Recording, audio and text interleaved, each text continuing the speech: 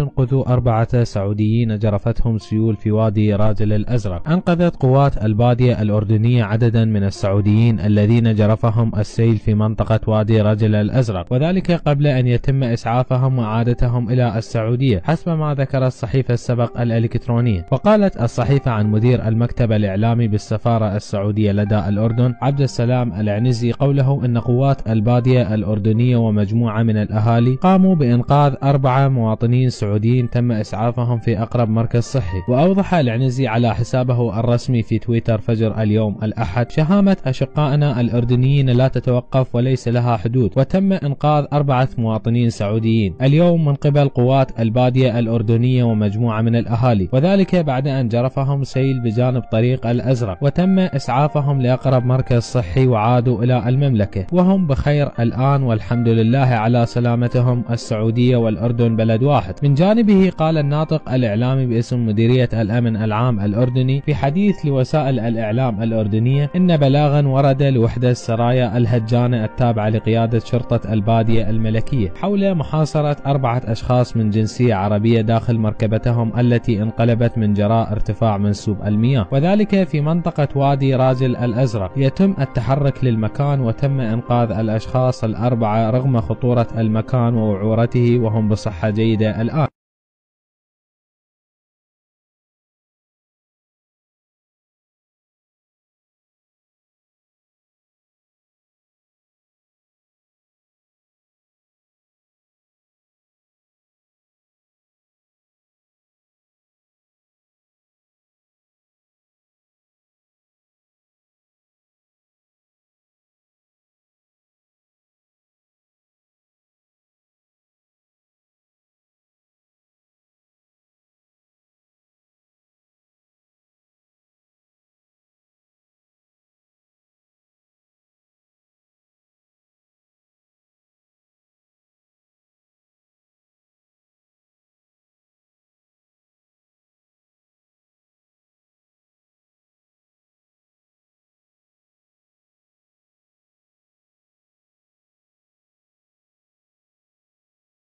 Uh-huh.